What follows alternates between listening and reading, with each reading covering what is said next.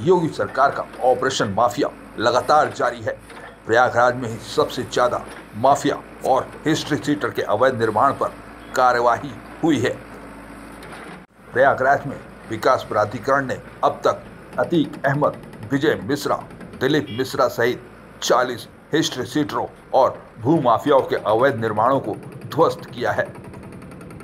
इसी कड़ी में प्रयागराज और कौसमी बॉर्डर पर अतीक अहमद के करीबी और हिस्ट्री सीटर बद्दू के दो मंजिला अवैध निर्माण पर विकास प्राधिकरण ने चार बुलडोजर लगाकर ध्वस्त कर दिया।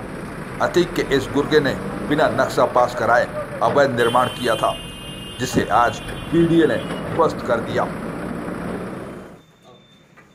मकान को गिराने से पहले घर को खाली कराने का नोटिस दिया गया था।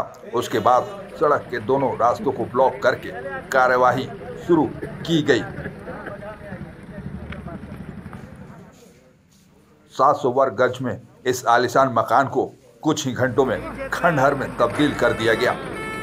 अहमदाबाद जेल में बंद माफिया अतीक अहमद के इस गुर्गे के पिता गुलफुल प्रधान पहले अतीक के साथ बिज़नेस करते थे, लेकिन उनके निधन के बाद उनके बेटे बद्दू ही अतीक के साथ मिलकर ज़मीन की खरीद फरोख्त करता था। लोकल थाने के अलावा धूमनगंज और कौसामी में भी इसके खिलाफ मारपीट, हत्या, ज़मीन कब्जे और गवाहों को धमकाने का मुकदमा दर्ज है। अभी हाल ही में उसकी हिस्ट्री सीट खुली है।